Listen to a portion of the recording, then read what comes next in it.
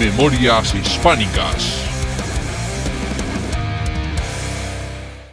Soy David Cott, presentador de Memorias Hispánicas, y en el episodio de hoy os traigo la biografía un poco de José de Rivas, un español al servicio de Rusia que fue muy importante en su historia.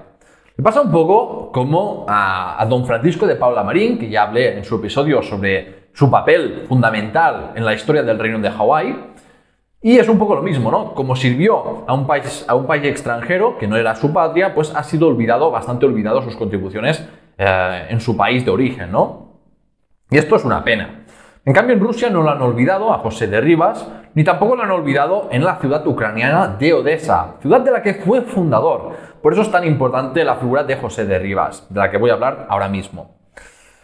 El padre de José de Rivas, Siri Boyons, era de origen barcelonés, hizo carrera en Nápoles Murió siendo funcionario de la corte eh, española. Por parte materna, José de Rivas provenía de una familia noble irlandesa.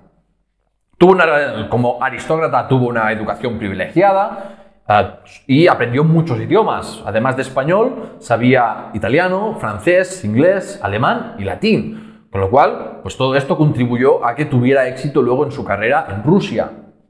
Cuando conoció al conde Alexei Orlov, que estaba al frente de la Marina rusa en el Mediterráneo, este joven y ambicioso catalán ya había hecho ciertos progresos en su carrera en las tropas reales napolitanas. Cuando dejó el ejército napolitano, a los 22 años solamente, de Rivas ya había alcanzado el rango de mayor. Y dos razones explican su decisión de abandonar y de embarcarse a Rusia. Primero, ah, las complicaciones como consecuencia de un duelo con el representante de un influyente ah, linaje napolitano, ah, el cual además amenazó a sus hermanos, los que siguieron a derribas hasta Rusia. Y en Rusia es que podía prosperar mucho más que en el reino de Nápoles o, o en España, ya que era un momento de máxima expansión para este imperio que asombraba a Europa con sus grandes proyectos y sus victorias militares. La Rusia del siglo XVIII necesitaba hombres europeos preparados, ah, que, estaban infrautilizados en sus países de origen, y este era el caso de José de Rivas. Al igual que sus hermanos Emanuel y Félix, que también hizo, hicieron una formidable carrera en Rusia. Antes de irse a San Petersburgo, José de Rivas tuvo la oportunidad de participar en la batalla de Chesme, dirigida por el conde Orlov contra ah, los turcos. Y en esta batalla mm, el, respeto no se lo ganó, el respeto del conde de Orlov no se lo ganó en esta batalla, sino en, eh, en, la búsqueda y captura de la princesa, de la princesa impostora Tarakanova, que era una impostora, como digo, que se hizo pasar por la hija de la emperatriz Isabel I de Rusia, para así conseguir el apoyo de, de potencias extranjeras para pretender al trono del imperio ruso. ¿Y cuál fue el papel uh, de, de, en la captura de esta, de esta impostora? Pues jugó el papel de apuesto extranjero, es decir, la sedujo. El conde de simuló caer en desgracia y sentir una profunda enemistad por Catalina II. Esto llegó a, a los oídos de Tarakonova, que puso la atención porque buscaba influencias de peso para luchar, para luchar contra la emperatriz y arrebatarle el trono. Así deciden conocerse y tras seducirla, José de Rivas, fingiendo un ardiente amor por ella, le solicitó matrimonio y la llevó al buque de Orlov, que se encontraba anclado en el puerto de Livorno, en, Italia, para desposarse. Pero claro, eh, Tarakanova había caído en la trampa. Y la supuesta princesa fue arrestada en el buque, que era territorio ruso, por lo tanto, y llevada hasta Catalina la Grande en San Petersburgo, donde moriría de tuberculosis encerrada en la fortaleza, en la fortaleza de San Pedro y San Pablo en diciembre de 1775. De Rivas llegó a San Petersburgo con todos los honores por, este, por, este acto, ¿no? Ah, y durante la primera guerra ruso-turca, de Rivas ya ganó fama debido a sus heroicos actos de guerra. Con solo 23 años se alistó en el cuerpo de cadetes de tierra con el rango de capitán y durante la guerra llegó al rango de brigadier. Fue importante en la conquista de Crimea en la fundación de Sebastopol y en la construcción de la base naval de Sebastopol. Pero el ascenso militar y político de José de Rivas también se debió mucho en, eh, en, el hecho de casarse con Anastasia Sokolova, que seguramente era hija biológica de Iván Beskoy, que era secretario personal de la emperatriz Catalina II. Mm, por eso, Anastasia Sokolova era menina de la emperatriz, era una de, sus damas, gozaba de la simpatía de la monarca y de hecho Catalina II se convirtió eh, en madrina de las dos hijas de, eh, de este matrimonio. En la guerra ruso-turca de 1787 y 1792, José de Rivas ganó fama por ser uno de los grandes jefes militares de Rusia, al nivel de, por ejemplo, Alexander Suvorov o Grigori Potemkin, mm, muy conocido. Por su éxito en el asedio de Ochakov, fue ascendido a general mayor y en 1789 de Rivas ocupó la fortaleza de Yadzibey, donde luego fundaría bajo sus ruinas la ciudad de Odessa. A principios de noviembre de 1790, una flota de remos dirigida por Derribas se adentró en el Danubio y ocupó varias fortalezas. 40 ah, barcos turcos fueron capturados y más de 20 navíos enemigos fueron incendiados. Derribas ordenó bombardear de forma constante ah, la que se creía que era una fortaleza inexpugnable, Izmail, Ah, y consiguió, por ejemplo, incendiar ah, y hundir 80, 88 barcos turcos adicionales, con lo cual, vamos, es que se dedicó ahí a hundir a la armada rusa, pero a la armada turca, perdón, a, saco. De Rivas trabajaba en un plan de asalto a Ismail, a pesar del rechazo por parte de los, de los otros generales que consideraban que la fortaleza era impenetrable. Derribas insistió en su plan de ataque, alegando la mayor fuerza eh, de, granaderos y cosacos que tenía bajo sus órdenes, hasta que Potemkin aceptó su propuesta. Derribas tuvo éxito en capturar la fortaleza supuestamente inexpugnable de Ismail, eh, logrando escalar el muro de piedra en una parte del Danubio. En la correspondencia entre la emperatriz y el general Potemkin se revela que eh, admiraba de Rivas y también esto desmiente un poco la imagen que tiene Potemkin de Grigore Potemkin de que estuviera en contra de los extranjeros en el ejército ruso.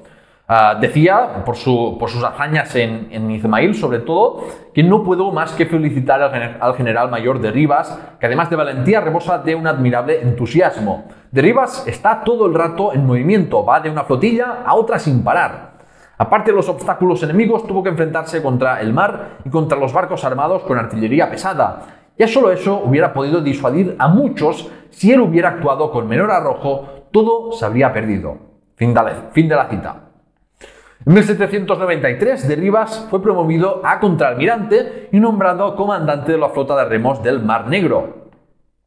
En 1792, antes, ah, fue de hecho uno de los tres plenipotenciarios designados por Potemkin para firmar el Tratado de Yassy para terminar la guerra ah, con, los turcos. La correspondencia entre dos de los grandes jefes militares rusos, de Rivas y Suvorov, también tiene gran interés. Suvorov, que no tenía un gran aprecio hacia los extranjeros, se comportó de forma cautelosa al conocer a Derribas, que había empezado su carrera en, Rusia gracias a favores y también en parte por su matrimonio. Cuando la guerra los juntó, sin embargo, el comandante ruso em, aprendió a confiar en el catalán incluso empezó a simpatizar con él, ya que por edad podría ser su propio hijo. Su amistad empezó durante el asedio de Ochakov. Uh, Suvorov contó, contó a Derribas eh, entre sus más íntimos amigos. Sin embargo, en los últimos años de vida de ambos, ese aprecio se vio roto por las acusaciones contra Derribas de, de que se rumoreaba de que, vamos, que era un corrupto y que había destinado una fortuna, había hecho una fortuna con los suministros destinados a los soldados. Ah, la misión más importante en los últimos años de Derribas fue la creación, ah, fue la fundación de la ciudad de Odessa. Catalina II la bautizó como Odessa en memoria de la antigua colonia griega Odesos, y dicen las leyendas que se asentaba ah, en el lugar, llegando a ser en el siglo XIX la tercera ciudad del Imperio ruso, la, tercera ciudad más poblada del, Imperio ruso, después de San Petersburgo y Moscú. Los primeros habitantes de Odessa fueron cosacos, aunque ah, al principio fueron, la población fue muy escasa. Para así atraer a nuevos pobladores, de Rivas declaró que los que se establecieran en Odessa no pagarían impuestos y se les darían tierras para construir eh, sus casas. Eh, y así en 1799 la ciudad ya contaba con más de 4.500 ciudadanos y con el tiempo Odessa se convirtió en uno de los puertos más importantes del Mar Negro. Como he dicho antes, los ucranianos y sobre todo los, los ciudadanos de Odessa no olvidan que José de, José de, Rivas fue su fundador. La calle principal de Odessa honra al almirante eh, José de Rivas. De hecho, también tener una estatua ah, de, este, de, este, hombre pero no provista de armas propias del gran militar que fue, sino de planos y herramientas propias del constructor que también fue como fundador de Odessa. Y todavía hoy Odessa reclama los huesos a Rusia de su fundador. Al fin y al cabo, pero eh, como he dicho antes, hubo rumores de los abusos, de la corrupción de, José de Rivas en la construcción, en la construcción de Odessa, pero esto nunca fue confirmado por la documentación.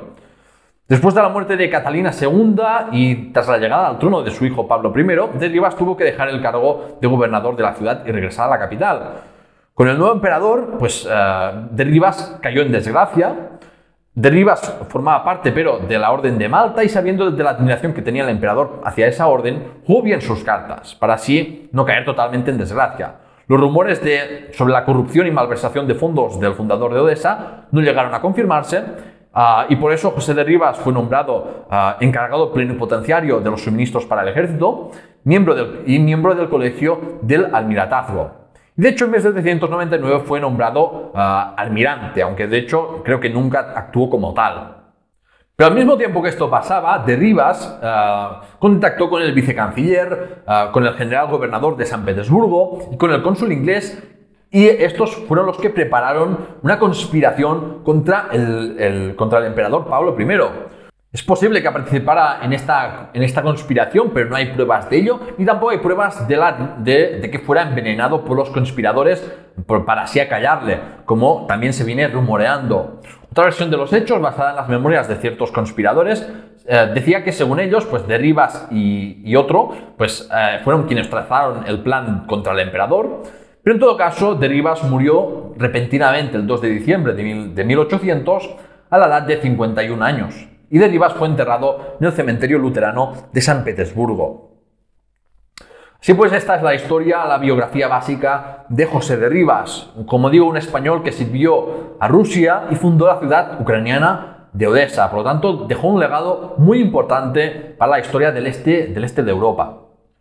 Y aquí termina este episodio de hoy. Si te ha gustado, por favor, acuérdate, como siempre, de suscribirte, seguirme en redes sociales. y finalmente, si, te gusta mucho mi programa, por favor, apóyalo en Patreon para así que puedas seguir, que puedas asumir los costes de todo esto, porque nada es gratis y requiere de mucho tiempo investigar todos, estos episodios. Así que ve a patreon.com barra la historia hispana y ah, ve pues ya a votar la siguiente serie temática o conseguir beneficios como accesos anticipados y otros beneficios. El siguiente episodio de esta serie será ya el último y vamos a ver las, relaciones entre Rusia y España que fueron muy, muy activas entre Rusia y España durante las guerras napoleónicas. Así que no te lo pierdas, suscríbete para no perdértelo y hasta la próxima.